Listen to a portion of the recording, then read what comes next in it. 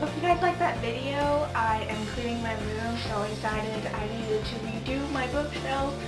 And as you can tell, I 100% need a second bookshelf because I'm stacking books sideways and have to use all the shelves and all the space and I literally had to stack them because I had three left over and I had nowhere else to put them so I had to stack books. So I definitely need to get a second bookshelf and I'm using a different camera because this camera takes longer videos than my new one for some reason.